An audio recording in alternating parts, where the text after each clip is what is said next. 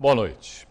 Baseada em leis municipais, a Prefeitura pode punir a ultracargo pelas consequências do incêndio. A declaração do prefeito Paulo Alexandre Barbosa foi feita hoje após reunião com autoridades estaduais. A Polícia Civil vai investigar quem criou boatos sobre o assunto pela internet, mas a medida imediata de maior impacto é o bloqueio de caminhões em direção ao Porto de Santos até o fim do incêndio. A medida de segurança vai impedir caminhões de chegarem ao Porto de Santos. A Polícia Rodoviária vai bloquear os veículos. Nós vamos fazer bloqueio em diversas rodovias que dão acesso aqui à Baixada Santista.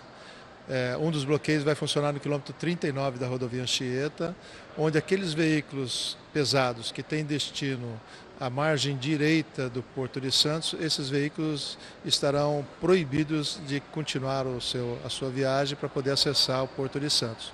Agora, aqueles outros veículos que estão destino à margem esquerda ou mesmo para outras cidades aqui da Baixada Santista, esses veículos estão liberados. É uma, uma atitude de emergência é, que a gente vai adotar, esse bloqueio.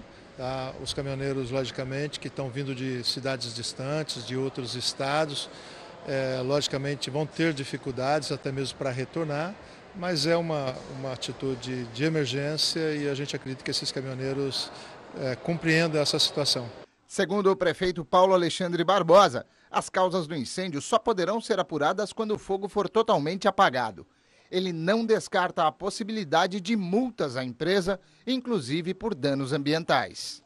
Nosso foco nesse momento, como eu tenho repetido, é o combate ao incêndio, é eliminar o fogo e, obviamente, preservar a segurança da população. É, na etapa seguinte, no momento seguinte, nós vamos sim, temos inclusive hoje já uma reunião com o Ministério Público para tomar as medidas cabíveis, necessárias, apurar com muito equilíbrio, mas também com muito rigor as responsabilidades e punir exemplarmente os culpados. Obviamente que existem esferas de competência, a autoridade portuária não é, é do município, mas nós vamos é, ter todo o empenho, porque uma situação como essa é inadmissível é, para a nossa cidade. A mortalidade dos peixes, que está sendo avaliada pela, pela CETESB, está sendo feito recolhimento de todos esses peixes, e nós vamos fazer, é, a partir desse relatório, dessa avaliação, tomar todas as medidas cabíveis. Importante lembrar que recentemente nós aprovamos na cidade uma nova legislação municipal em relação ao dano ambiental,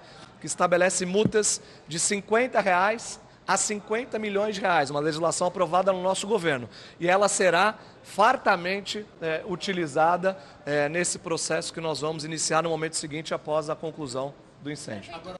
O secretário estadual de Segurança Pública garantiu a investigação dos autores dos boatos espalhados pela internet que assustaram moradores da cidade. Os policiais civis de Santos, com apoio de uma equipe também é de São Paulo, é, já estão monitorando aquelas pessoas que se aproveitam é, de um momento difícil, num acidente que ocorreu, né, de uma força maior que causou é, um incêndio, é para é, propalar boatos infundados, para tentar causar é, pânico, tentar causar tumulto aos, é, ao município de Santos. Então, já desde ontem já começamos esse monitoramento.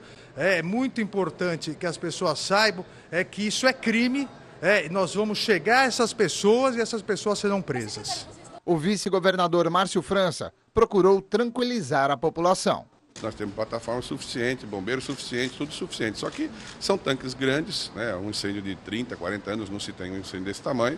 A gente está tentando é, ter todo o cuidado para preservar a vida humana. Veja, eu insisto, né? até agora não houve nenhum tipo de vítima, o que é o principal para nós.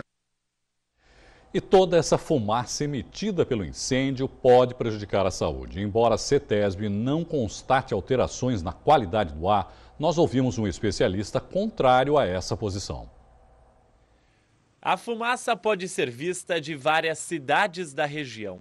Há registros de pessoas do alto da Serra do Mar.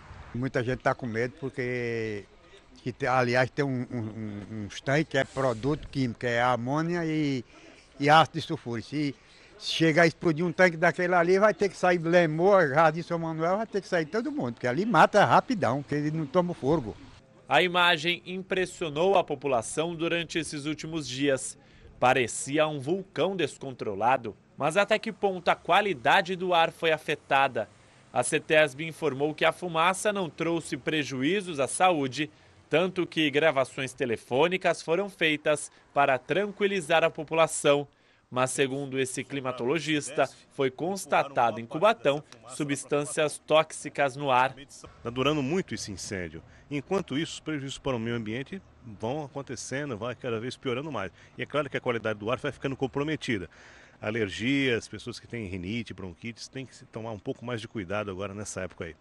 A CETESB informou que a qualidade do ar não traz nenhum malefício, que mesmo com essa fumaça está tranquilo.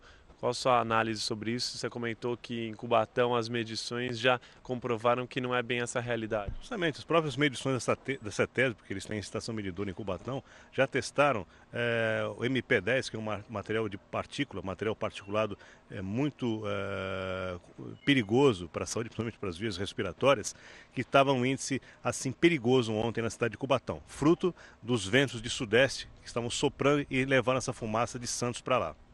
O especialista diz ainda que é muito difícil realizar medições e determinar os prejuízos à população agora.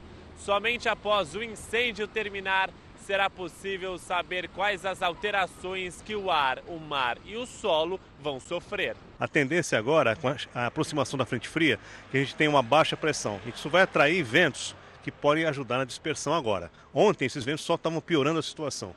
Estavam fazendo inclusive alastrar as chamas de um tanque para o outro. Hoje não, esses ventos um pouco mais fortes uh, podem ajudar a dispersar. O problema é o seguinte, a direção do vento. Hoje a direção preferencial é de nordeste, o que pode fazer com que os poluentes de Cubatão se dirijam a Santos. A, a, esperança é que amanhã, a partir de amanhã, o vento mude para norte, com a aproximação da frente fria. Isso faria com que a poluição fosse em, em direção ao mar. O que se sabe até o momento é que pessoas com doenças alérgicas e problemas respiratórios podem sofrer mais.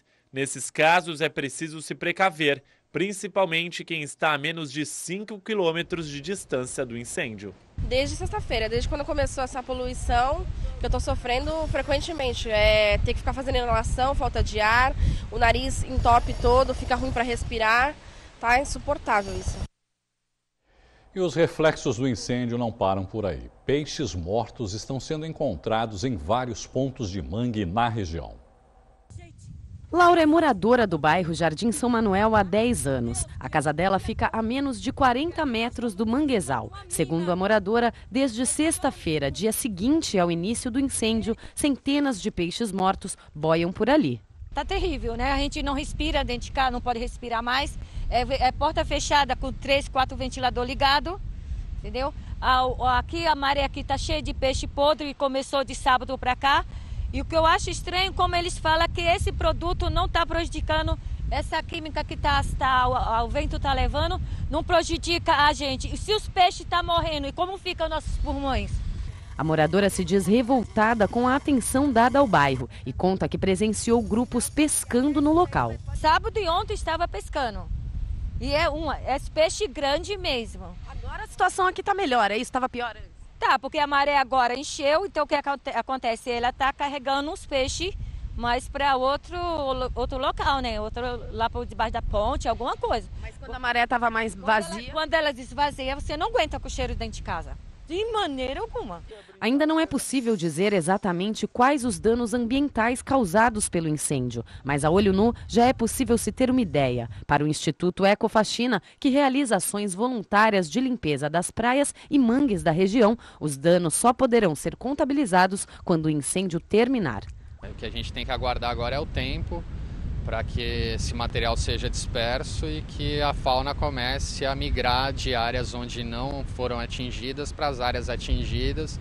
E aí vai ter todo o processo de reprodução dos peixes, né, o tempo que isso leva, e vai ser gradual. No último domingo, o Instituto estava programado para realizar a ação de limpeza do mangue, próximo à Vila dos Pescadores, em Cubatão. No local, foram encontrados milhares de peixes mortos. Muitas famílias tiram o sustento desses mangues pela pesca. Tem pescador que está aí há 50 anos pescando aqui no História de Santos e nunca viu uma situação como essa. Eles estão acostumados com a poluição, já tiveram outros casos aí de incêndio aqui no porto que contaminaram a água, houve mortandade, mas não na quantidade que está havendo dessa vez, né? O repórter Felipe Gongola esteve agora há pouco no local do incêndio e atualiza as informações. Boa noite, Felipe. Boa noite, Irineu. Boa noite a todos. Neste momento, dois tanques de gasolina estão pegando fogo. Segundo o comandante do Corpo de Bombeiros, Marcos Palumbo, que deu entrevista coletiva agora há pouco, oito linhas defensivas estão fazendo o resfriamento dos tanques e três atacam diretamente os tanques que estão pegando fogo.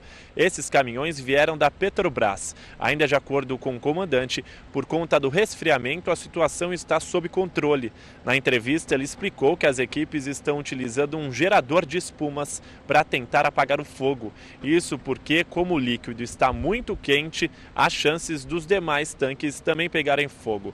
Neste momento também chove forte e venta pela primeira vez desde que o incêndio começou. Essa chuva também pode ajudar no resfriamento. Navios atracados no porto estão auxiliando no fornecimento de água. Um deles enviou 7, 75 mil litros por minuto. Desde o início do incêndio já foram utilizados 5 bilhões de litros de água. A CETESB enviou um comunicado agora para a redação informando que a quantidade de poluição emitida nas estações de Santos e São Vicente não mudou significativamente. Então, é, não há tanta poluição, a, a qualidade do ar está boa e moderada. Irineu? Obrigado, Felipe, pelas informações. Depois do intervalo, as notícias do esporte. Além do primeiro dia de finais do Troféu Maria Lenk de natação, tem também todos os detalhes do clássico entre Santos e Corinthians. Nós voltamos já.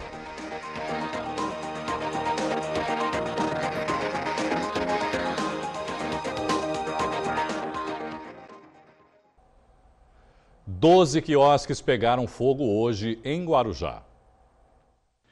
O incêndio aconteceu no início da tarde, na Avenida Miguel Stefano, na Enseada, em Guarujá.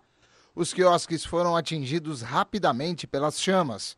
Segundo os bombeiros, os fortes ventos teriam ajudado na propagação do fogo. Três caminhões foram utilizados para controlar o incêndio. As causas ainda estão sendo investigadas. Um curto-circuito em um forno micro-ondas pode ter sido o motivo. Não houve feridos.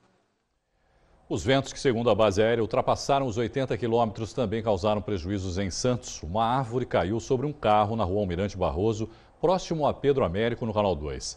Também teve ressaca na ponta da praia. Segundo a dessa, a travessia de balsas permanece com sete embarcações. Porém, o tempo de espera é superior a quatro horas. A forte ressaca chegou até a ciclovia. Os motociclistas desviavam das poças que se formavam na pista sentido Guarujá. Teve gente que quis registrar a força da natureza, mas não conseguiu escapar de se molhar. O vento também derrubou essa placa do Aquário Municipal no Jardim da Orla. Só uma pequena retificação: o tempo chegou a ser de quatro horas. No momento, a espera é de aproximadamente uma hora e meia. E por volta das seis da manhã, o motorista perdeu o controle do carro e caiu no mar na travessia da balsa entre Santos e Guarujá. Ele foi rapidamente socorrido e não sofreu ferimentos.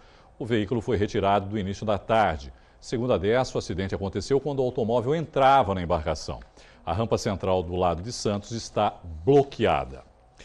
E nesse feriado, nove motoristas foram autuados por embriaguez em Peruíbe. A blitz da lei seca foi realizada na Avenida da Praia, próximo a casas noturnas. A operação submeteu 68 condutores ao teste. O valor da multa é de R$ 1.915. Os autuados também tiveram suspenso o direito de dirigir. Um deles ainda responderá por crime de trânsito. Adilson Costa Silveira apresentou o índice a partir de 0,34 miligramas de álcool por litro de ar expelido. Se condenado, poderá cumprir de seis meses a três anos de prisão. Mães de alunos de uma creche municipal no Japuí, em São Vicente, pedem melhorias à prefeitura. A creche Luiz Gonzaga fica no bairro do Japuí, em São Vicente. A unidade atende 88 crianças com até 4 anos. Mas as mães decidiram protestar. Juntas na frente da escola, dizem que não há qualquer estrutura lá dentro. A escola está com sem ventilador, parede toda mofada, as crianças dormindo no tatame. Quando chove, alaga tudo lá dentro da creche, as crianças brincam na água. As fotos comprovam o que ela diz. As paredes estão com uma quantidade enorme de bolor e quando chovem, alaga. Flávia ainda reclama da merenda. Duas pacotes de bolacha para 80 crianças na creche. Ainda não teria merenda suficiente? Não tem merenda suficiente. Minha filha chega em casa morrendo de fome, ainda comendo mais, porque aqui acho que ela não está se alimentando direito.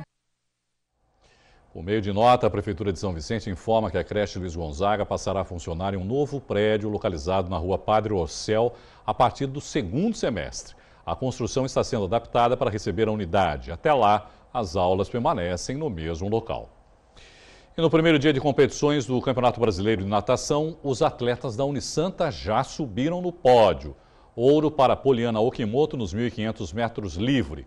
Prata para Andréa Berrino nos 100 metros costas e bronze no revezamento masculino 4 por 50 metros com Nicolas Santos, Felipe Messias, Matheus Santana e Thiago Sickert. O troféu Maria Lenk segue até sábado na piscina do Fluminense, no Rio de Janeiro.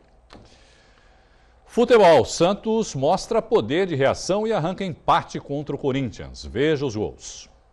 Aos 41 minutos, o Corinthians abre o placar. Jadson cobra o escanteio e Felipe cabeceia firme. Aos 12 minutos da segunda etapa, o Peixe consegue o empate. Chiquinho Cruz e Ricardo Oliveira manda para as redes com estilo. Final na Arena Corinthians. Corinthians 1, Santos 1.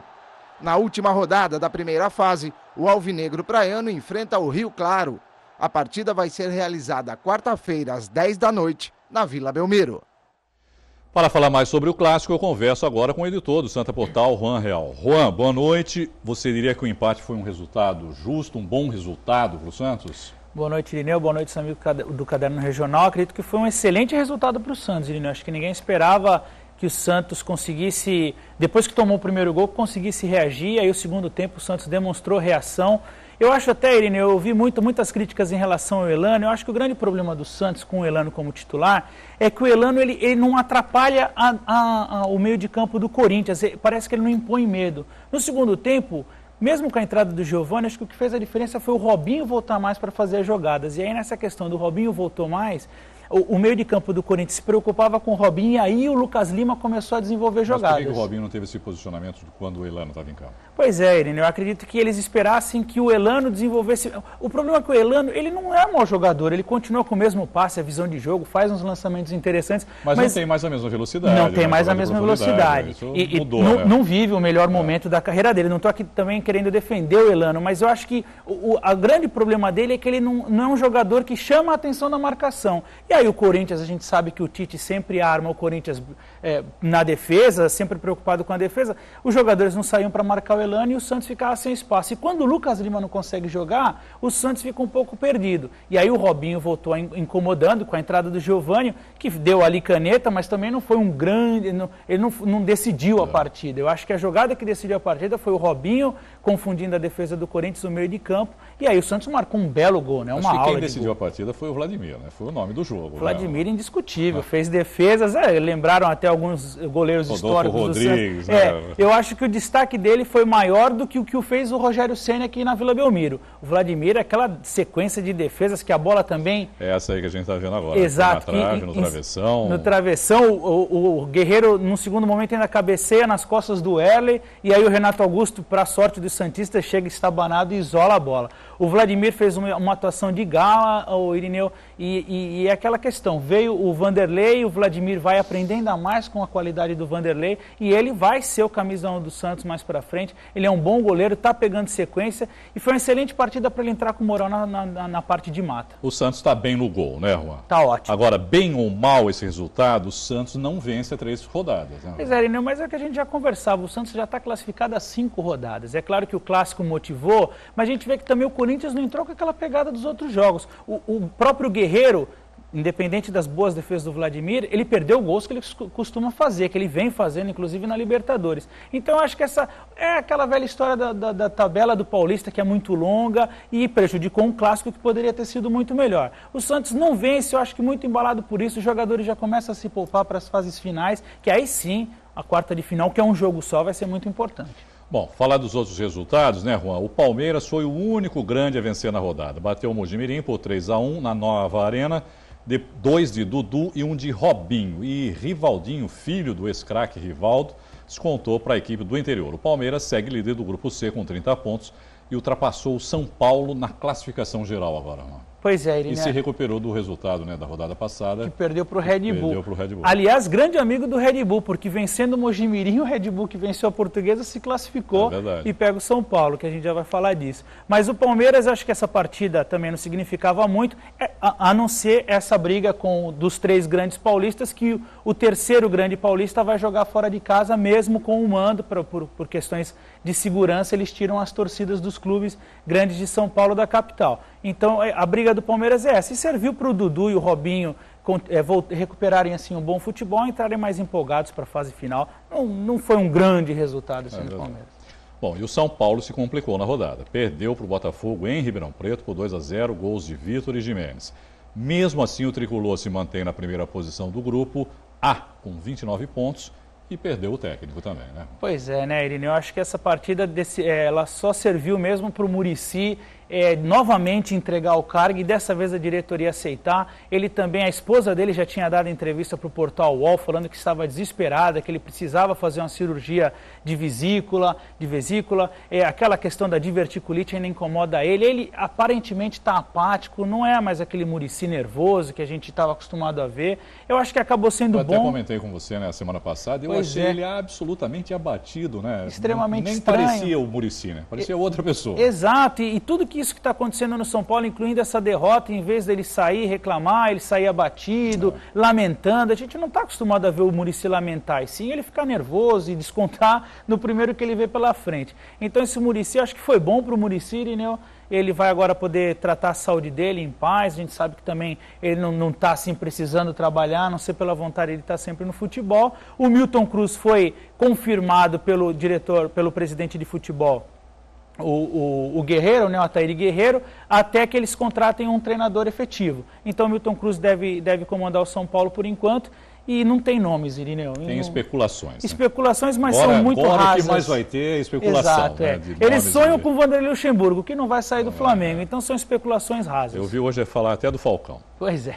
Bom, é, já dá para saber os confrontos da próxima rodada, né, Juan? Pois é, Irineu. Já, já estão definidos. Né, menos o do Santos. O do Santos, menos o do Santos. É, pois é, o, o São é, Paulo. É, lembrando que ainda falta uma rodada, né? Uma rodada fase. na quarta-feira, né? Até no nosso VT, o Santos pega o Rio Claro, uhum. o São Paulo pega a Portuguesa, Ituano e Palmeiras e 15 Corinthians. O Corinthians vai definir quem vai enfrentar o Santos, porque o 15 é um dos que disputa com o Santos. As quartas de final já, já garantidas é São Paulo contra o Red Bull Brasil, Red Bull Brasil. o Corinthians e a Ponte, Preta, um jogo bem complicado, e o Palmeiras e o Botafogo. O Santos, o 15 de Piracicaba e a Penapolense ainda disputam essa vaga. O 15 vai pegar o Corinthians em casa e a Penapolense pega o São Bento, quer dizer, o Santos ainda um falta desses definir. dois será o adversário do Santos. Um desses dois é o adversário do Santos. Vai lembrar que no ano passado o Santos sofreu muito com a Penapolense, mas na fase semifinal. Dessa vez na quarta de final pode pegar a Penapolense, mas acredito que a, o 15 de Piracicaba tem mais chance.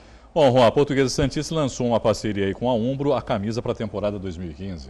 É uma camisa histórica, lembrando uma época áurea da Portuguesa no passado. Uma bacana parceria com a Umbro, uniforme de mais qualidade, né, Irineu? E é, é bom porque é um atrativo a mais, quem sabe não é um, um incentivo a mais para a Portuguesa finalmente conseguir é, deslanchar A camisa é uma questão. réplica da que foi utilizada em 1964, 64. quando a Portuguesa foi campeã da Série 2. É, da Série 2. Pra ver, é o que eu falo, para ver se motiva a Portuguesa ela conseguir. A, a, a Santa Cecília TV vem acompanhando a portuguesa e é quem sabe dessa vez com essa camisa nova a gente não transmite aí a portuguesa subindo de divisão, né, Irino? E a estreia será no próximo dia 19, né, Juan? É isso? Dia 19 de abril. Paulista da segunda divisão. Pois é, tanto a, a, portuguesa Santista e também o Jabaquara, que a gente às vezes acaba esquecendo de falar dele, mas ele também estreia. Vamos acompanhar, não é, Juan? Estaremos lá, estaremos cobrindo pelo Santa Portal e aqui sempre comentando no Caderno Regional. Obrigado mais uma vez, uma boa noite para você. Juan. Eu que agradeço, Irineu. Boa noite, boa noite aos amigos da Santa Cecília TV. A edição de hoje termina aqui. Obrigado pela companhia. Continue com a nossa programação e acesse o Santa Portal para se manter sempre bem informado. Até amanhã, sete e meia da noite. Tchau.